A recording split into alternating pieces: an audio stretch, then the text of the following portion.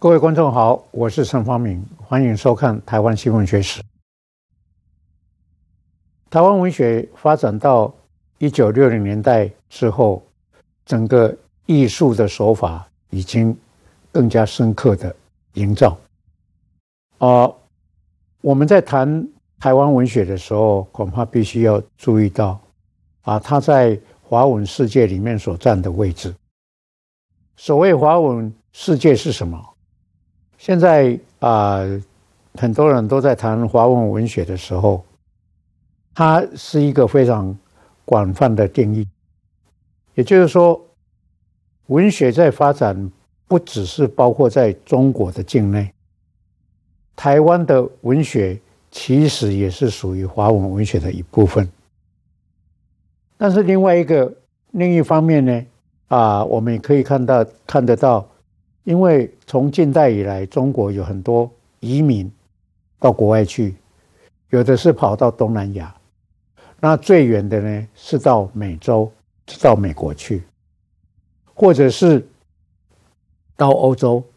那每个地方的华文文学都不太一样啊。马来西亚的、印尼的，他们的华文跟台湾的华文是不太一样。那跟中国本身他们内部的那个文学也不一样。那么在整个华文世界里面，台湾文学。所重视的程度，完全不会输给中国。那最主要的原因是，台湾虽然是经过国民党的控制，但是从来没有像共产党那样的监视那么严酷。这也是台湾文学能够突破的地方，这是一个主要的理由。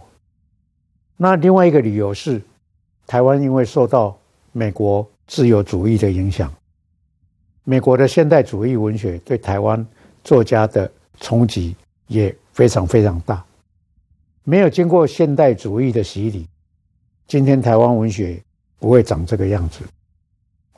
所以，我们今天谈到一九七零年代的时候，就必须注意到了这么小的一个岛屿，容纳各种不同文化的一个土地，在整个中国里面。我们从来没有看到台湾作家是那么丰富，他们不仅仅是说是外省作家，所谓外省作家，其实就是中国所有的族群都来台湾了。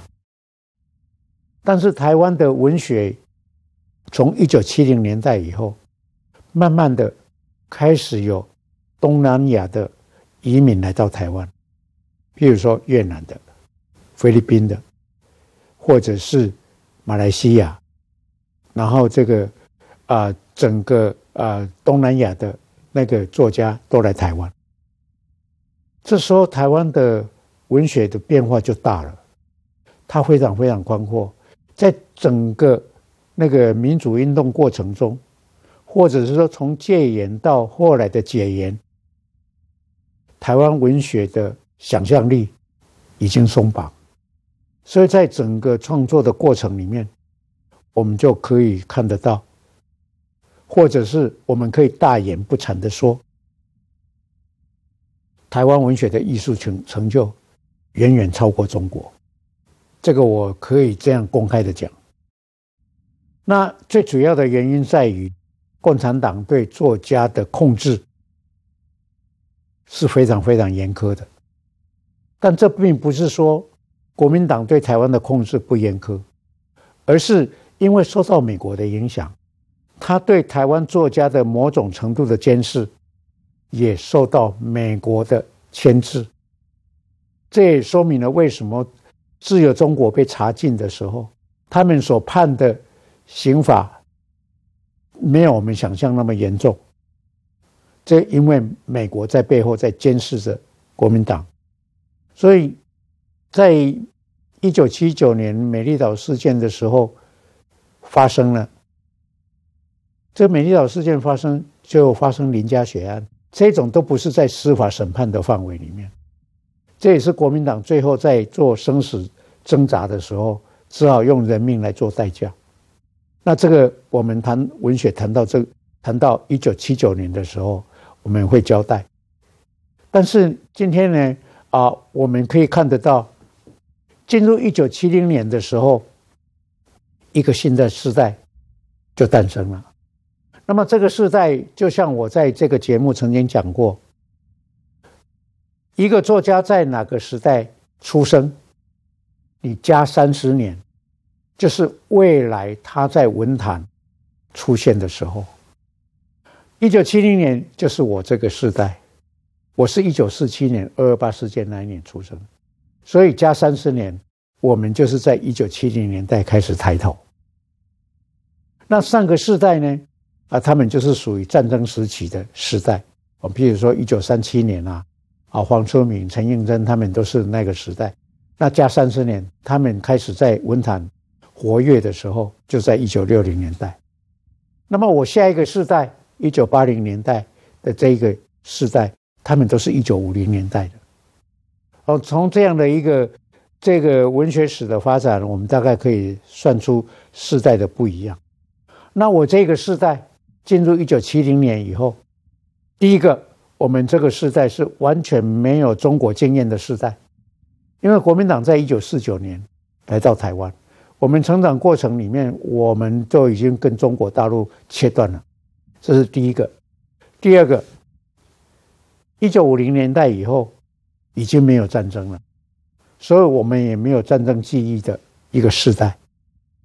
我们对于整个文学的啊理解，或者是某种啊对台湾的感情，确确实实比上一个世代还要更密切。我们跟台湾的感情，然后我们呼吸的自由空气，都比上一代还更优势。这也说明了为什么现代主义在我的上一个世代，他们是那么流行，因为现代主义是一种浓缩的语语言，他们只能写出内心世界的一些想法，然后他们采取的技技巧大部分都是比较象征性的，不会像我们这个时代在写台湾的时候，就赤裸裸的把台湾的土地、台湾社会呈现出来。这是我们跟上一个世代不一样的地方，而这一点也说明了台湾文学史之所以精彩的原因，因为每个世代的历史记忆、社会经验，都决定了他们在文学上的美学的表现。我仍然记得一九七零年代流行一本书，那本书叫做《极静的春天》，《极静的春天》是在谈环保的。那是美国人写的。这位美国人他怎么写？他说啊，每年的春天都可以听到鸟声，都可以听到那个虫声。可是为什么现在的美国的土地上已经听不到鸟声跟虫声？然后他那篇讲到了，因为大量使用杀虫剂，大量使用杀虫剂之后，连带着。自然界的很多生物也被消灭掉了。这本书对台湾影响有多大？在一九七零年代开始出现环保运动，就是受到这一本书的影响。讲到环保运动的时候，我们就知道了，当时国民党让美国外商来投资的时候，哦，就像我们讲的加工出口区，大量的那个外国来投资的时候。也开始污染台湾的土地。我们这个时代已经不关心要不要反攻大陆，我们开始关心我们怎么保护这块土地。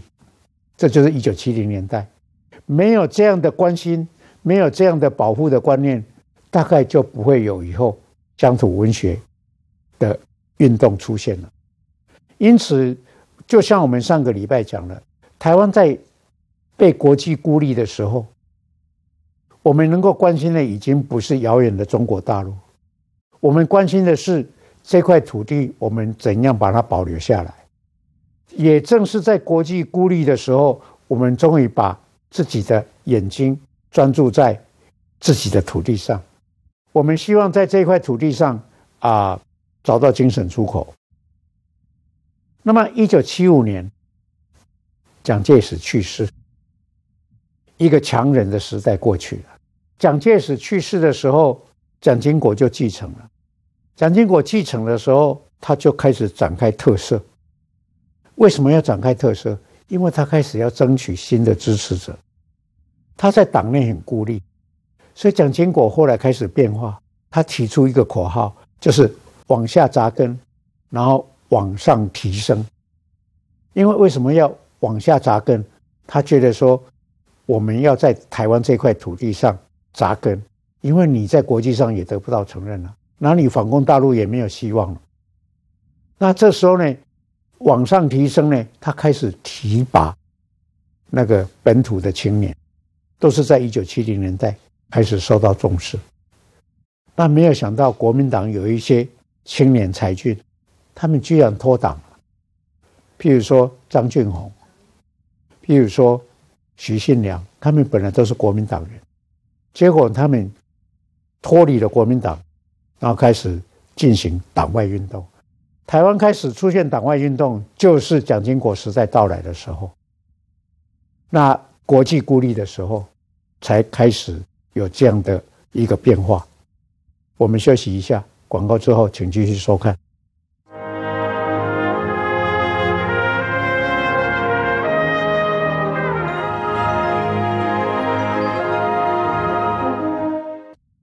欢迎各位回来收看《台湾新闻学史》。蒋介石去世的时候，蒋经国开始啊，跟台湾本土人啊，希望能够结盟，所以呢。他就开始不仅啊提拔台湾的青年才俊，他也开始展开特色。那一年特色出来的一个重要作家，他的名字叫陈应真。一九六八年他被逮捕了，那他判刑十年。那没有想到蒋介石去世，所以呢就开始特赦。被判十年的陈应真，他出狱了。那陈应真为什么？他会那个会被逮捕，因为他组了读书会，然后偷偷阅读许多左派的书籍，那甚至还曾经在读书会里面啊放过啊中华人民共和国国歌，啊这个就被人家密告，那密告之后他就被逮捕了，他出狱了，他立刻就跟苏庆礼见面。那苏庆礼是谁？苏庆礼的父亲是苏新，日据时代的台共的成员之一。他的父亲后来在一九四七年二二八事件之后，就开始逃亡，然后就跑到北京去了。所以他的太太还有他的女儿就留在台湾。苏庆黎他一直有左派的那种观念。因为他的父亲是台共的啊领袖之一，所以在等于就是说，这是他的家庭的一个渊源。那他对左派的向往，那陈应真对左派也向往，所以他出狱的时候就跟苏庆礼结盟，就创办了一个叫做《夏朝》。那从这个这个杂志的命名就非常清楚，“夏”就代表中国的意思。所以，他也算是在一九七零年代最早的统派。那最早的统派跟党外运动又不不一样。党外运动当然没有讲出他要主张台湾独立，但是他们不认同国民党，也不认同中国。所以在这个时候，就夏草出现的时候，就刚好跟党外运动有一个区隔。那夏草他出版的时候，他有一个。啊，很重要的就是，他开始介绍殖民地时期的台湾作家。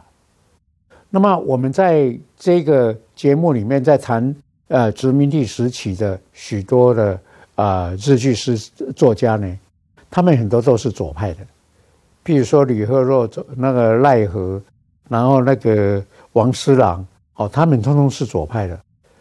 这些左派在日据时代，他们已经发表很多文学。那因为他们在殖民地时代，这些呃台湾作家跟日本的作家往来相当密切，在某种程度上，他们是得到护身符了，因为有日本作家来加持，所以呢，啊殖民地时代的左派文学呢，反而得到一个容身的空间。可是战后不一样，战后是国民党是非常反共的。那陈建成出狱之后，他就是当然就开始在他的杂志呢，开始介绍很多国民党左派的文学。那国民党左派确确实实是非常非常多的哈，他就一个一个介绍国民党的左派，连带的他也开始介绍台湾的左派，譬如说啊，把杨奎他的作品呢啊也介绍出来。那杨奎他的作品。他是非常了不起的，他就是他的文学是非常平易近人，他就会透过小说的故事情节呢，然后慢慢渗透一些农民啊抗议或者工人抗议的这样的一个情节出来，哦，那是非常高明的一个书写的方式。那当他开始介绍这个台湾左派文学的时候，其实也开始慢慢带动了。乡土文学运动，在那之前，我们这个节目已经提到了，五零年代是反共文学，六零年代是现代主义文学。